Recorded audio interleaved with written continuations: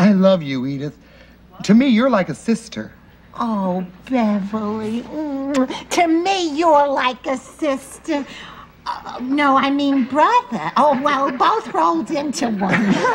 In the last Culture Cruise video, I talked about how the show All in the Family introduced Beverly LaSalle, presenting a female impersonator as being worthy of love and respect at a time when TV tended to depict queer people as mere punchlines. But Beverly was also one of the first queer characters on television to come back for more than one episode, growing closer to the bunkers over the course of years until her storyline took a dark turn. All aboard and welcome to Matt Baume's Culture Cruise. Last month we talked about the time that Archie Bunker saved Beverly LaSalle's life with some mouth to mouth, and then she saved his reputation with some quick thinking in a bar. Now it's time to talk about how her later appearances broke new ground, both good and bad. Thanks to everyone who makes Culture Cruise possible with the pledge of support on Patreon. If you're enjoying these videos, head over to patreon.com slash mattbaume or click the link in the description to check out the rewards for backers, like early ad-free access to videos, a care package in the mail, and even a temporary Culture Cruise tattoo. Beverly LaSalle first appeared as a plucky female impersonator in the episode Archie the Hero in 1975. If you missed that Culture Cruise, there's a link in the description. She returns a year later in 1976 in the episode Beverly Rides Again. It starts down at the corner bar with some of the guys pulling a series of practical jokes on Archie. He gets annoyed at them and storms home to plot his revenge, but there's a surprise waiting from there as well. Look who's back. You're the lady Archie saved, but you turned out to be a man. A queer character who actually comes back for more than one episode? It's a TV miracle. At the time, most TV shows depicted gay people as either non existent or so vanishingly rare you might never even meet one. The same year this episode aired, the TV show called Family had a gay character on a single episode, and everyone talked about him like they just discovered a mutant. Tug, I think of myself as a fairly sophisticated woman. You've never been touched by anything like this personally. It's something I've almost never thought about.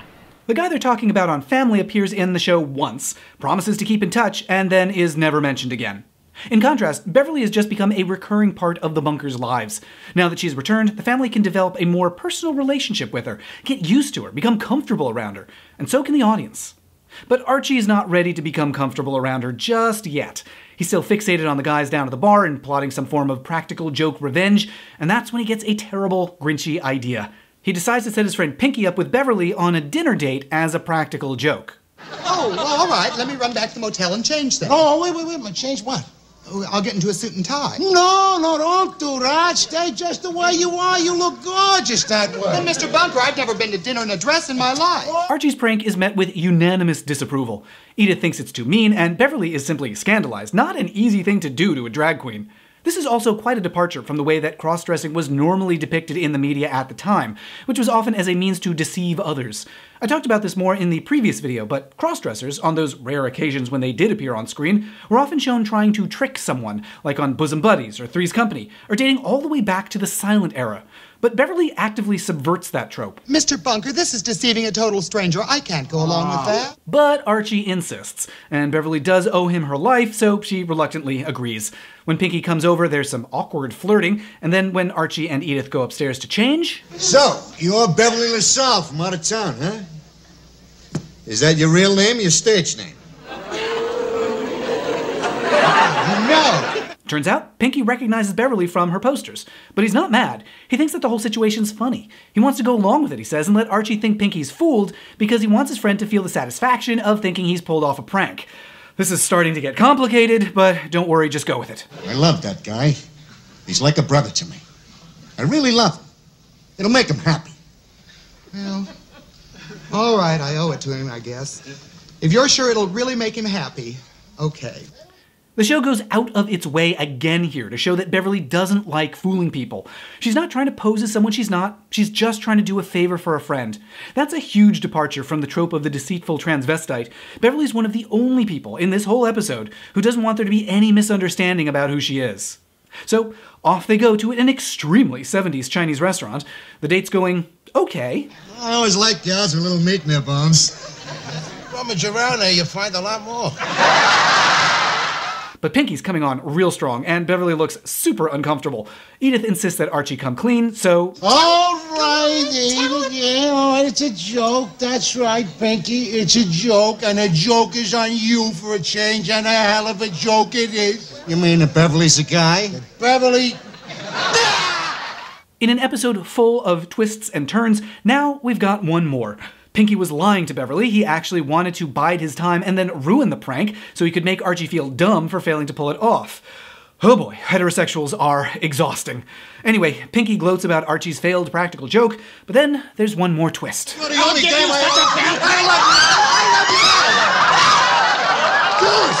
Turns out Archie had secretly called Pinky's girlfriend Doris and told her to come catch him with Beverly. And that's the real prank Archie was pulling. With her arrival, Beverly takes the opportunity for a wig reveal. Showtime! And then Pinky's humiliated and runs out with Doris in angry pursuit. Archie is beside himself with his victory and with gratitude. This is one of the greatest nights of my life. I finally got even with that guy. I gotta thank you two swell girls.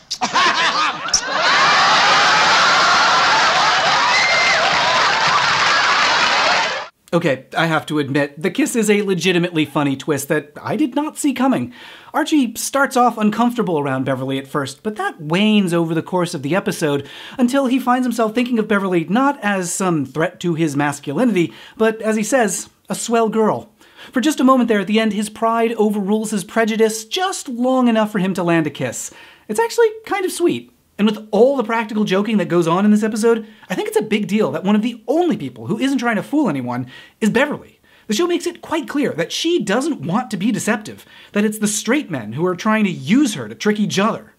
I'm glad you know. Now we can go out to dinner and have a good time, and I can go back to the motel and change. no, no, no, no, no. That really plays against what audiences expected from female impersonator characters at the time, giving Beverly a lot more nuance than she would have had if they just used her as an easy joke. Not to mention, her return in this episode gives the bunkers and the audience an opportunity to develop a more personal connection with her, now that she's a recurring element of their lives. That deeper connection will become very important in her next appearance, a year later, in a two parter called Edith's Crisis of Faith. This is a heavy one, so buckle up. Beverly is once again back at the bunker home, celebrating Christmas and her upcoming show at Carnegie Hall. They all seem to have grown a lot closer over the past year. Look at how tender this scene with Edith is. I saved all your reviews from all over the country. Aren't you nice? Well, we're just proud of you. I mean, there have been celebrities in this house Sammy Davis Jr. and Lena Fleischhacker, whose niece did a TV commercial for Bad Breath. You're the only one that's like family. Wow, there's something in my eye, and that something is that I'm crying. Family isn't something that every queer person gets to have, especially a drag queen in 1977. A year earlier, that episode of the show Family showed a gay man coming out to his father, and it went like this. Dad? Do you want me to leave too? I, I don't care what you do. Queer people still, 40 years later, face exactly that kind of rejection from family, and worse. Imagine what it must have meant for queer viewers to see someone like Beverly receive unconditional acceptance from someone like Edith. That's a very precious thing, and Beverly understands how lucky she is. I love you, Edith. To me, you're like a sister. Oh, Beverly. mm, To me, you're like a sister. Uh, no, I mean brother. Oh, well, both rolled into one. Okay, two years later, you still haven't worked out the pronouns? Whatever. Edith wants Beverly to come to Christmas dinner, and while Archie's a little dismayed about that, Edith's firm. We're all God's children. God loves everybody, including Beverly, and he don't want nobody to be alone on Christmas. Besides, I already invited him. Remember that line God loves everyone. Just like the first episode where Beverly appeared, Edith's faith guides her to think of Beverly as a person like anyone else, worthy of love and respect, particularly on a holiday that's founded on taking in those who couldn't find shelter anywhere else. The bunkers have a truly lovely moment with everyone gathered together, happily enjoying each other's company, making it clear that Beverly's a part of their family. But it's not going to last. As the hour gets late, Beverly and Mike walk to the corner to catch a cab. Just a few minutes later, the family hears sirens and rushes outside. It's a chilling scene.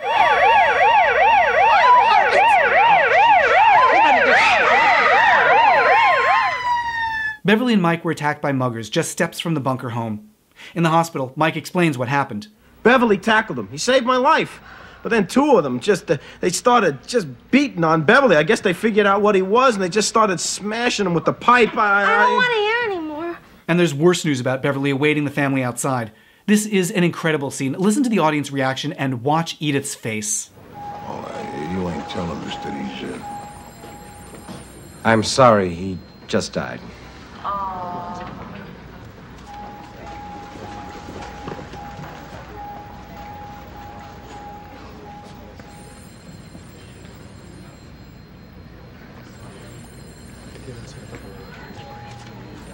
Can you imagine a sitcom today having such a long stretch of silence?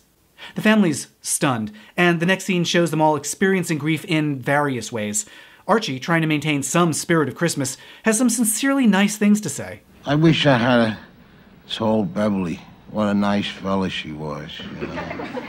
But Edith is completely devastated. She can't make sense of the tragedy, and then Gloria says something that inadvertently makes it worse. Again, watch Edith's face. I can't understand it. I mean, everything was going so good for him, and then somebody had to kill him. Yeah, just because he was different.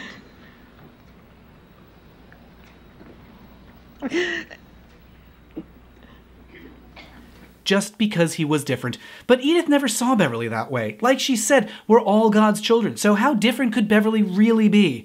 That throws Edith into a crisis about what God's love means. She leaves for church, but only gets as far as the porch. I ain't going to church. What's the matter, Ma? You always go to church on Sunday. Well, I ain't going today. Beverly's loss has changed something fundamental for Edith. Once more, watch how much the show is able to communicate with just a few looks and some long silences. I may not go to church ever.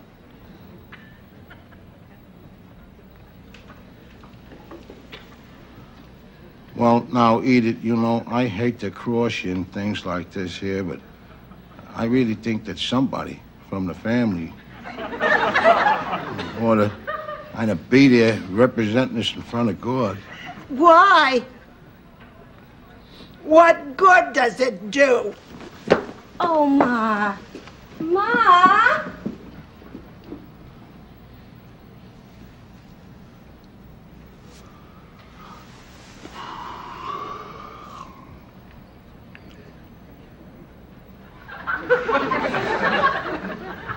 Hey, I didn't do nothing.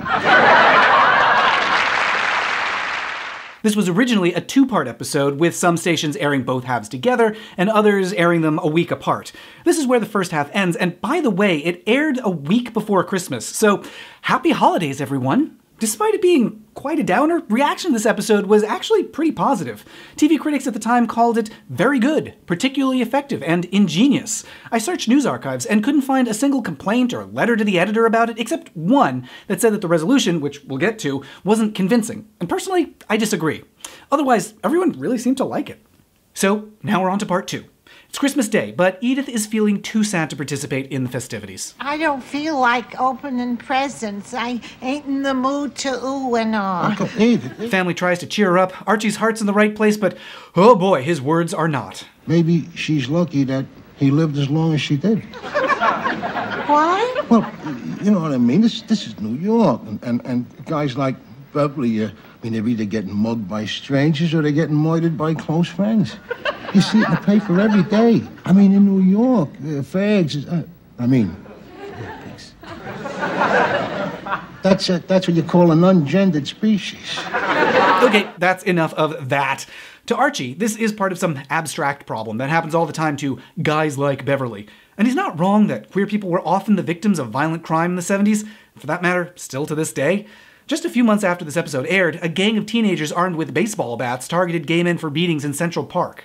But Edith isn't thinking about guys like Beverly. She's only thinking about Beverly. To her, this is a tragedy about a single person she cared about. Homophobia was a systemic, society wide problem, but Edith's experiencing it through her personal connection with one particular victim. Her reaction is not only normal and compassionate, but puts a human face on a tragedy that otherwise might have seemed abstract, far away, somebody else's problem. What's happening with Edith, understanding the plight of a marginalized group through a personal connection to one member of that group, is actually a pretty common phenomenon. Personal connections often help people understand larger issues in ways they didn't before, spurring them to take action. A real life example? Just one month before this episode aired, Harvey Milk was elected supervisor in San Francisco. By that time, Harvey had become an integral part of the community. People knew him not only as an icon of queer empowerment, but on a personal level for years as a neighbor and a friend. That personal connection helped get him elected thanks to volunteer work of folks who'd come to know and respect him. and it also led to the mourning and rage when he was killed a year later. In the months following Harvey's murder in 1978, San Francisco experienced waves of grief, with multiple vigils in his memory. And when his killer, Dan White, got the lightest possible sentence, that grief turned to action and anger. Protesters stormed City Hall when the sentence came down, furious that Harvey'd been denied justice. San Francisco police had raised $100,000 for Dan White's defense, on top of frequent police harassment of queer people, and the community was fed up. That night, they set fire to police cars, tore down the ironwork around City Hall, smashed windows, and rioted. A group called the Fruit Punch Collective recorded audio of the scene, including a fiery speech by an organizer named Amber Hollibaugh. It's time we stood up for each other. That's what Harvey meant to us. He wasn't some big leader. He was one of us. I don't think it's wrong for us to feel like we do. I think we should feel like it more often.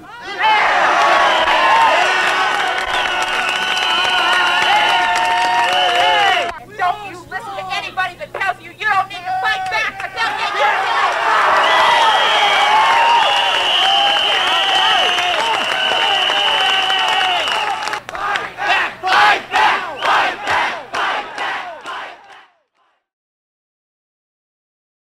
Following the White Night riot, San Francisco instituted reforms in the police department, Mayor Dianne Feinstein appointed a bunch of queer people to public office, and Harvey's replacement, Harry Britt, got to work on the nation's first domestic partner legislation, which was vetoed by Feinstein and later signed by his successor. The city was galvanized to action in part because so many people had a personal connection to Harvey Milk, along with personal grief and fury when he was lost. I wasn't alive when the White Night riots happened, but I was in San Francisco for the Prop 8 campaign in 2008, when that lesson about the power of personal connections had to be learned all over again. The TV ads telling people to vote no on Prop 8 were pretty impersonal. They were mostly about vague virtues that needed to be upheld. It's wrong to treat people differently under the law. No on 8. Unfair, unnecessary, and wrong. Those ads didn't work. Prop 8 passed, and California lost marriage equality for years, but organizers tried something different four years later when a marriage measure was up for a vote in Maryland. I'm Reverend Allison Halsey, and I'm for it. For it. For it. For it. I'm for everybody getting their slice of the wedding cake. For my dad. For his partner, Tom. For my two moms. I'm for getting wedding presents instead of giving them all the time. The Prop 8 ads presented an abstract idea about the issue.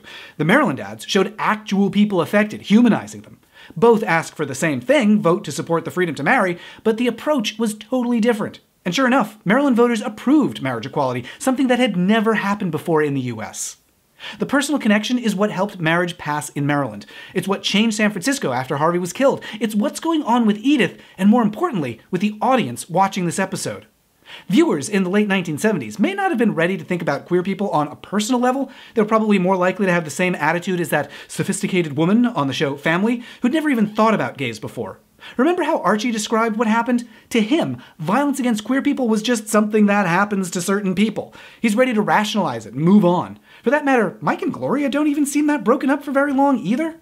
But Edith's grief stops them from rationalizing, or from abstracting, or from forgetting that a hate crime against someone she loved happened just steps from their home. She's forcing them to stop and recognize what happened. But we also need to recognize one more way that this episode breaks new ground, and it's not so good. This episode relies on the trope of a queer person dying to advance the character development of a straight person.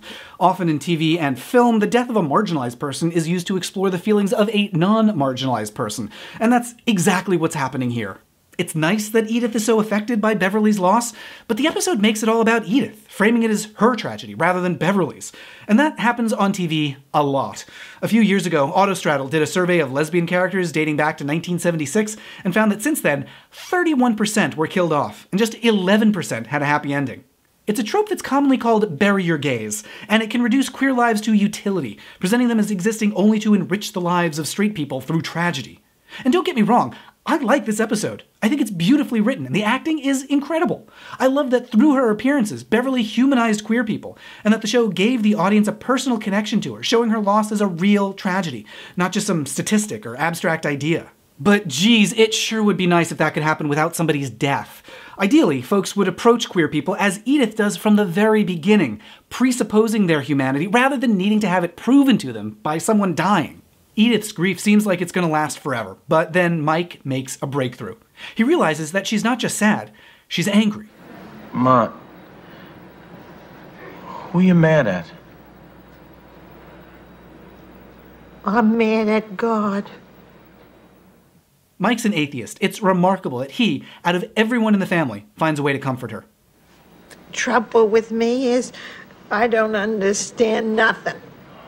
Ma, that's not true. You understand plenty. Ma, if there is a God, you're one of the most understanding people he ever made. We need you.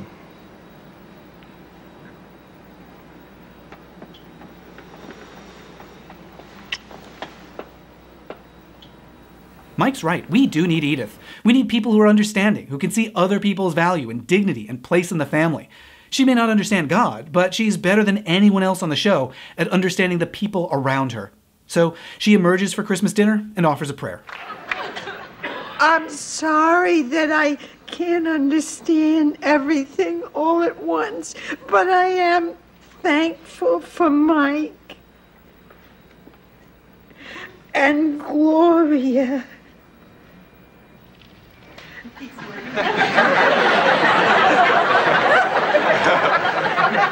and, and Aunt Iola. You forget somebody. Edith. And Sybil Gooley. Forgetting somebody. Edith. Oh, and Archie. Oh, About 18 million people watched the show when it aired. That's about as many as watched the series finale of Game of Thrones. And with any luck, viewers were changed for having grieved along with Edith, coming away with compassion for people who might have seemed like an abstract other before. It's just a bummer that, along with one of the first positive depictions of a drag queen, came one of the first queer characters killed to advance a straight character's plot. These days, the deceitful crossdresser trope feels pretty dated and old fashioned. Bury Your Gays may be finally getting the same treatment, thanks in part to a large backlash in 2016 when queer characters were killed on The 100, The Magicians, Jane the Virgin, and The Walking Dead all in the span of a month. Four gays buried in such a short span of time was pretty frustrating, but fans didn't just grieve, they got mad.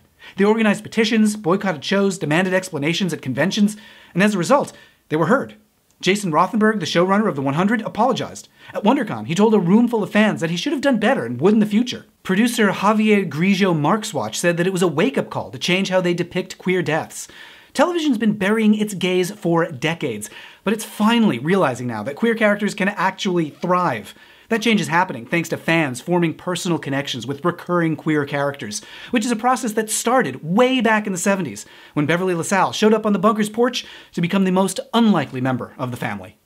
I've got more videos about how All in the Family broke new ground for queer characters on TV. Check out the links in the description for those. And let me know what shows you want me to talk about next at Matt Baume on Twitter and in the YouTube comments. Now, if you'll excuse me, I've got to gaze at some berries.